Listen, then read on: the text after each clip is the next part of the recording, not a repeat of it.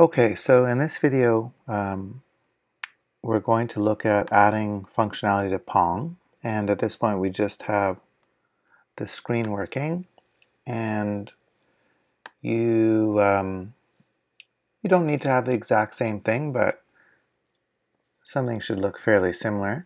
And what we'll do is we, we'll focus, I think on the last video, we already got this working, but we'll just focus on getting the paddles moving and I'll just kind of work through it again. I will focus on the right paddle and you can see here in my draw loop I've you know I've done really nothing more than just uh, draw the screen here. And my you know the only other thing I have is a new new screen kind of initialized and set up which is 800 by 600 so the real question is how do we move this left player's paddle and obviously it's going to be the y variable. And so I'm going to create I'm, I'm going to create a variable. So now for those students who are still new to programming, a variable is uh, essentially a name that stores a value somewhere in memory on the computer. In this case, the value is uh, the integer 300. So it's important to remember what kind of value, not just what the value is, this is a, a number of 300, but that it's an integer.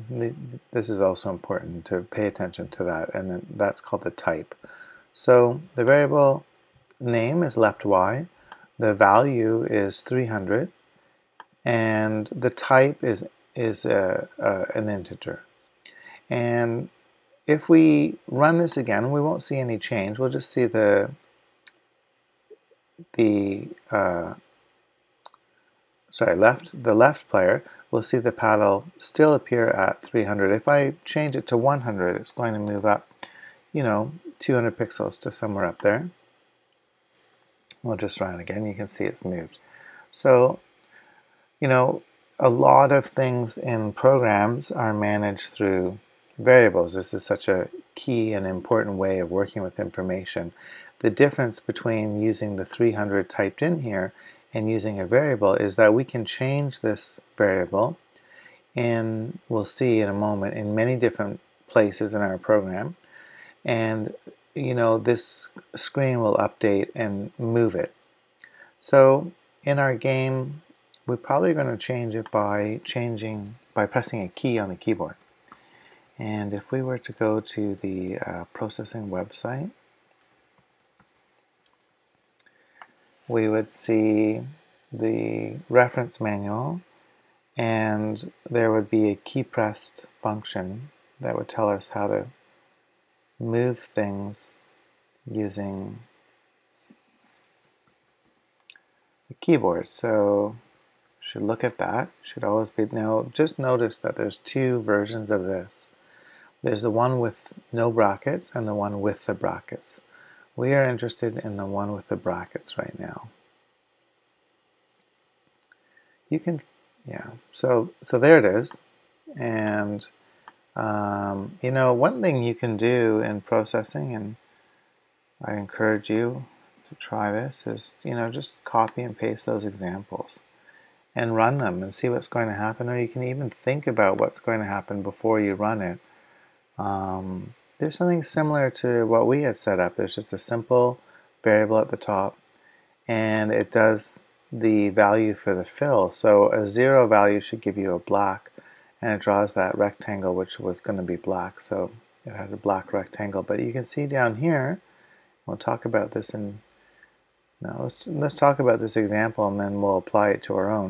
You can see down here that uh, it's changing the value. Now without going too much into the why of this, the value needs to be changed by uh, the, the value here that, that gets changed inside of this function key pressed.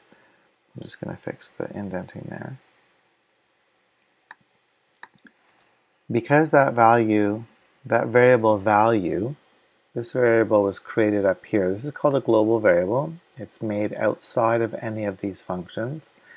And because it's global, we have to tell this function keypress, we have to tell it, let's use the global value. It's kind of expecting to have a value inside of this function. It's one of the benefits of functions, is you get a way to have your own variables inside of a function, keeps things nice and separate, and prevents all sorts of other problems. But here we're going to go around, we're going to work around that. we're not going to use that local idea, we're going to use the variable up here. This can be a bad idea, but this is how it's going to work. So, excuse me. So, um, if the value is currently 0, this if statement here says if the value is 0, which it is on when it first runs, well, then assign it. This is assignment, just like we did up here, right? You gave it the value 0. Well, now we're giving it the value 255. Okay, so just ignoring this bottom part, this just simply says if the value is 0, change it to 255. And this else statement says, well, you know what, if this is not true, so if the value was not 0, maybe it was 255, the value wasn't 0, then let's change it to 0. Only one of these will ever run, only one of line 15 or 17. You check this, this is called a uh, condition. If it's true, you, you assume this code runs. If it's not true, and there's an else, one else, like there is here, then this one runs. Let's see it. So that would make it click, when I click it, the key press, it should turn white because 255 is white.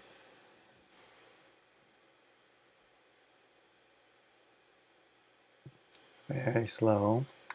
All right, so I've clicked in the sketch just to make sure it has focus, and then I hit the spacebar, turns white, hit the spacebar again, now when I hit the spacebar again, the value was 255. This was false. It ran the else statement and it made it the value 0. Now this is global, so inside draw, that's the same variable here, and it uh, filled it black again.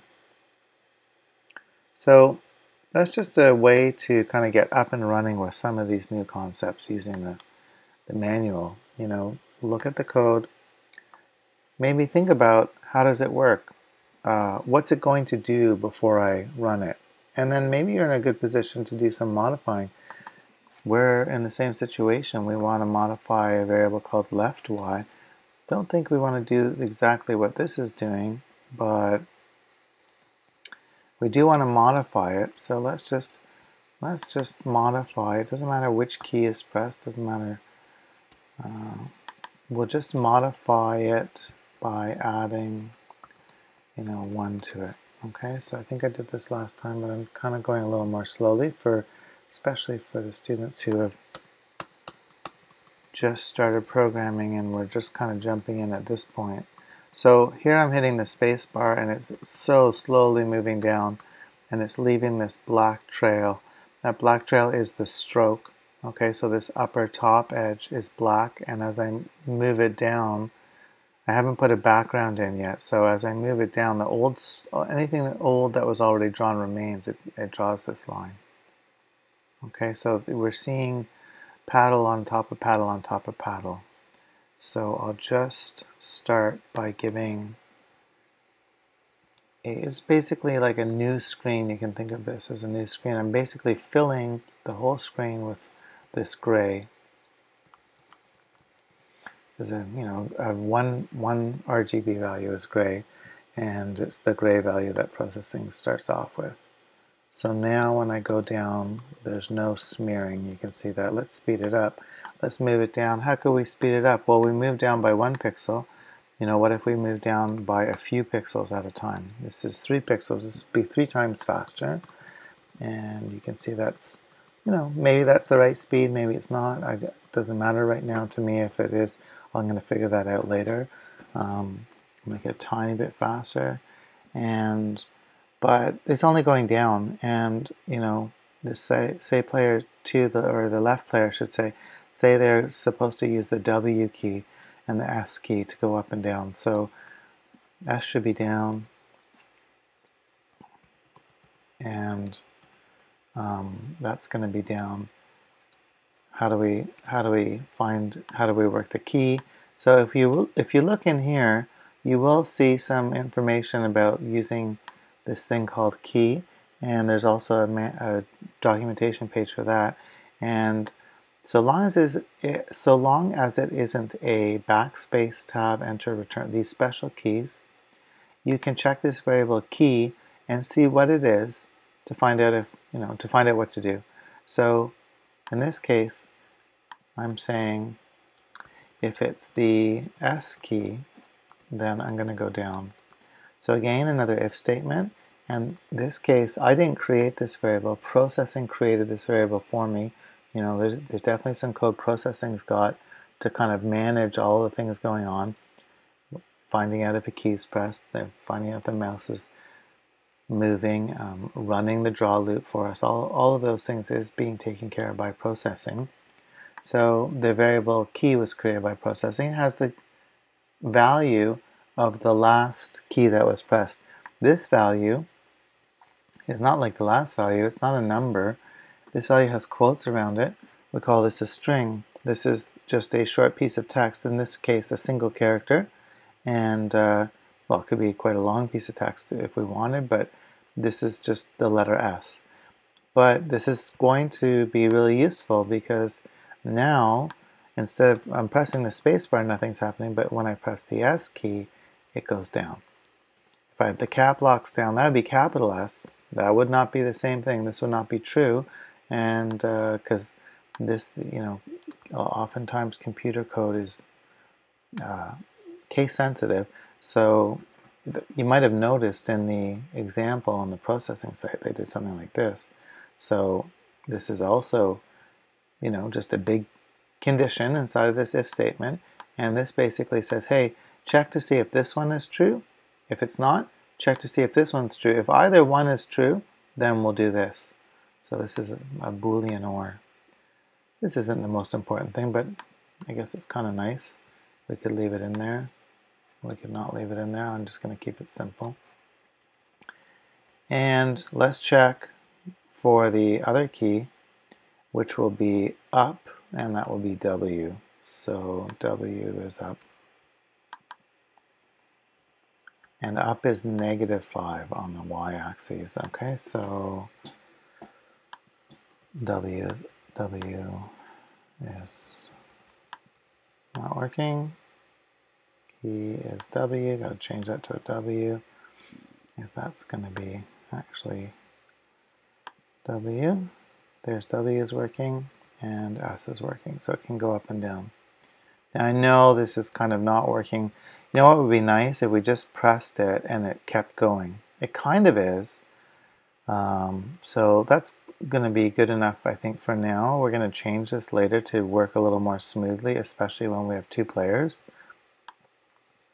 But I think the important thing is to take this in steps and recognize that, especially when you're starting out, that you don't have to get it perfect and you just keep learning and trying things out and best case understanding your own code as you write your own code line by line not grabbing anyone else's code but just kind of slowly building it up. Okay so there's more things I'd like to do here but I, am going to stop there and encourage you to get both paddles working and next video we'll, we'll return to looking at the ball and getting that bouncing so see if you can get those paddles finished and uh, and when that's done then we'll look at making this ball move. Try to be consistent about variables. So in this case if you're going to use left underscore y as a, a variable name then this other one right underscore y would make the most sense I think. And then maybe the ball, I'll stick with that, and ball underscore x, ball underscore y. But you know, that's a personal choice, but you have to kind of pick some, it's best to be consistent. And please, these are comments, please include comments. We really have, we're really jumping in and just kind of writing code. We haven't done really nearly enough planning, but uh, we can at least, you know, write comments to explain our code as we're going, and this is really important. So um, you don't have to do every single line. You know, this is in the manual. You can look this up. You don't have to explain what size does, but like what, you know, what is this variable for? Um, that's the vertical position of the left player. Okay, label that. and label why you're changing it and why are you checking for this S key. You know, what's that supposed to do? Oh, it's going to move it. You know, explain it. Okay, I'll stop there.